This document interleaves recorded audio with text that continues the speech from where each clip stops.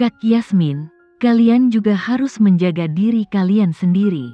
Saat kalian menyelamatkan para korban, jangan lupa untuk menjaga diri kalian juga. Putri berusaha membangkitkan semangat timnya, dan dia juga berharap kakak David dapat mendengarkannya juga. Yasmin dan yang lainnya sibuk menyelamatkan orang, dan Putri juga tidak membuang waktu. Dia menyiapkan alat desinfeksi dan siap merawat pria yang terluka itu. Pertama, dia membersihkan luka pria itu secara menyeluruh. Lalu, dia mengoleskan obat pada lukanya dan membalut lukanya. Prosesnya sangat lama, tapi dia sama sekali tidak sabar. Ketika dia sibuk, dia mengabdikan dirinya untuk menyelamatkan orang. Dia tidak punya waktu untuk memikirkan kakaknya David. Situasi di pihak Gavin juga sangat tegang. Bangunan yang runtuh juga telah menghancurkan sekelompok personel pencarian dan penyelamatan. Oleh karena itu, jumlah personel SAR semakin berkurang dan korban luka semakin banyak. Tim medis panik karena kekurangan tenaga. Meskipun semua orang bekerja keras, tidak ada yang mengeluh kelelahan. Ketika Bapak Presiden terus bekerja sepanjang malam seperti orang lain, semua orang merasa terhibur. Sepanjang malam, semua orang terhibur untuk tetap waras. Ketika sudah terlalu lelah, mereka dengan santai akan mencari tempat kosong untuk beristirahat sejenak. Semua orang peduli, dan tidak ada yang menghakimi. Setelah istirahat sebentar, mereka bangkit dan terus membantu. Saat mereka berhasil menyelamatkan sebagian besar korban, langit berubah cerah. Mungkin, sehabis gempa dan gempa susulan, langit selalu tampak suram. Apalagi sepanjang waktu itu sedang gerimis, sehingga cuacanya sangat buruk. Semua orang bergiliran istirahat selama satu atau dua jam, tapi Putri tidak. Dia ternyata energi dan termotivasi, sehingga dia tidak merasa lelah meskipun terus bekerja. Yasmin beristirahat sejenak. Saat dia bangun, dia melihat Putri masih bekerja. Dia menjadi khawatir dan berkata, "Guci kecil, kamu telah bekerja sepanjang malam. Pergilah tidur siang. Bahkan jika kamu tidak bisa tidur, tutup saja matamu sebentar. Kamu akan merasa lebih baik." Kak Yasmin, aku tidak lelah. Aku tidak lelah sama sekali. Putri tersenyum dan dia mengambil handuk hangat untuk menyeka wajah pasien yang lebih tua. Apakah kamu merasa lebih baik sekarang? Lebih baik, jauh lebih baik. Anakku, terima kasih. Wanita tua itu menangis saat mengucapkan terima kasih kepada mereka. Dia menangis karena dia melihat orang-orang yang dicintainya meninggal di hadapannya, dan dia terharu hingga menangis oleh orang-orang muda yang merawatnya dengan penuh kasih. Jangan khawatir, tolong istirahat lebih banyak. Aku perlu memeriksa pasien lain. Oke. Putri menjaga semua orang di tenda. Dia menyapa mereka dan berbicara dengan mereka dengan penuh kasih sayang, sehingga pasien lanjut usia merasa sangat dikasihi dan diperhatikan. Anak muda, kamu harus istirahat sebentar.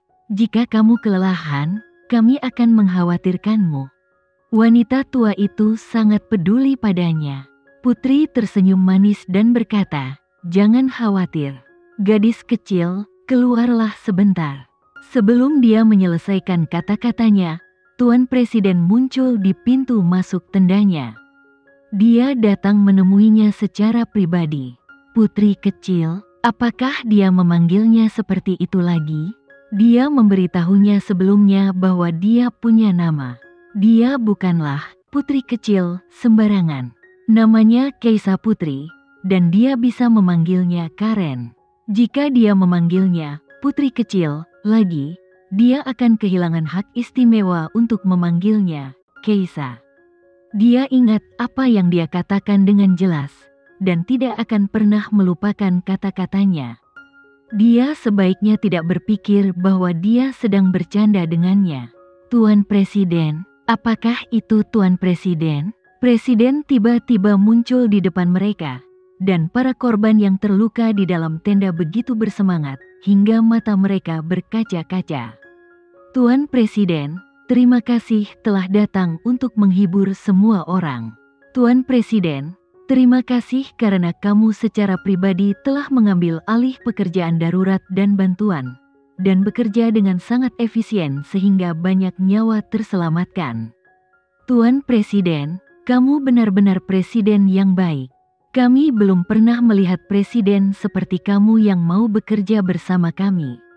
Ketika Pak Presiden tiba, semua orang tercengang. Bapak Presiden hanya ingin berbicara dengan Putri, namun akhirnya dia harus memeriksa para medis juga. Putri berdiri di samping dan dia diabaikan. Sebelumnya, semua orang begitu baik padanya, seperti dia merawat mereka dengan penuh kasih sayang. Namun, tampaknya mereka lebih menghargai Tuan Presidennya. Karena dia tahu bahwa dia sedang dikesampingkan, Putri diam-diam menatap tajam ke arah Gavin dan berjalan keluar tenda. Mengapa mereka memandangnya seperti itu? Dia jauh lebih menarik dan manis daripada Tuan Presiden mereka. Namun, begitu dia datang, semua orang mengabaikannya. Dia cemburu, dia tidak iri pada mereka yang selamat, tapi pada kakaknya, David. Dalam pikirannya, negaranya selalu lebih penting daripada dirinya. Meskipun dia berjabat tangan dan berbicara dengan para medis, Gavin hanya bisa melihat mata putri. Dia memperhatikan setiap tindakan kecil yang dia lakukan. Setelah dia pergi, dia juga segera keluar, tetapi dia tidak melihat putri kecil itu. Di mana? Dia bertanya pada kedua pengawalnya yang berjaga di depan pintu. Tapi ketika kedua pengawal itu mendengar pertanyaannya, mata mereka tampak bingung. Di mana? Ada celah dalam pertanyaan Pak Presiden. Apa yang dia tanyakan? Apakah dia mencari sesuatu atau seseorang? Pak Presiden menanyakan pertanyaan ini, tetapi mereka tidak tahu siapa atau apa yang dia maksud. Bagaimana mereka tahu apa yang dia tanyakan? Saat dia melihat betapa bingungnya para pengawalnya, Gavin hanya memikirkan satu hal di benaknya. Dia memutuskan untuk tidak lagi mempercayakan urusan pribadi kepada pengawalnya, karena mereka jelas tidak terlalu peduli. Ketika Gavin melihat sekeliling, dia mendengar cibiran tajam dari samping. Dia mendongak dan melihat gadis itu berdiri di samping, dan menertawakannya.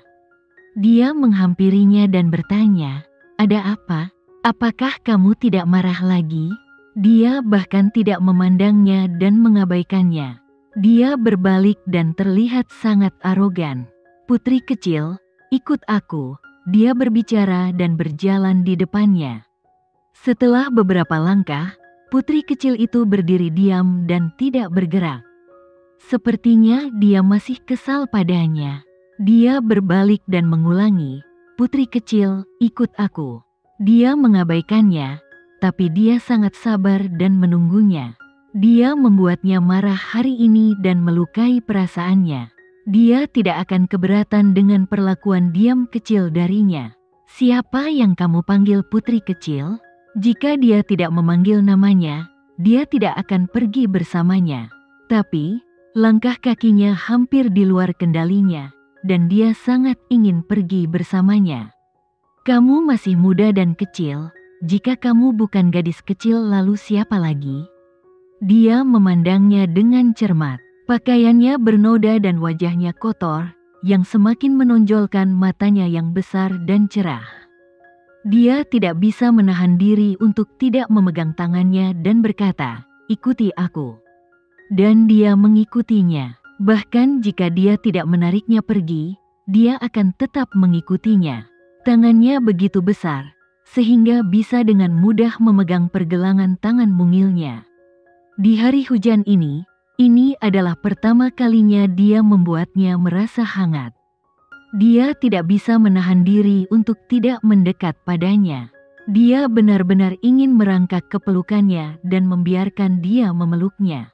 Selama dia memeluknya, penderitaan dan rasa sakit yang dia alami selama ini akan segera hilang.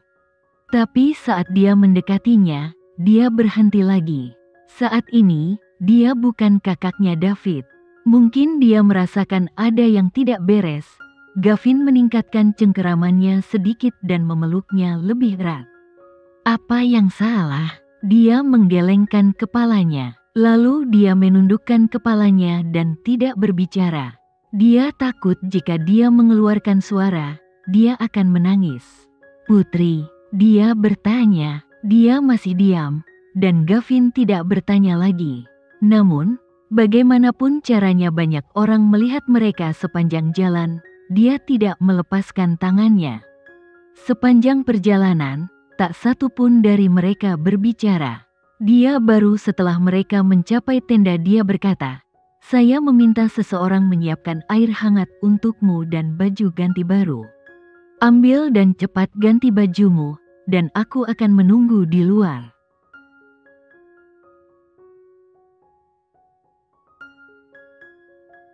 Sekian dulu ya video kali ini, kita lanjutkan lagi videonya di lain waktu.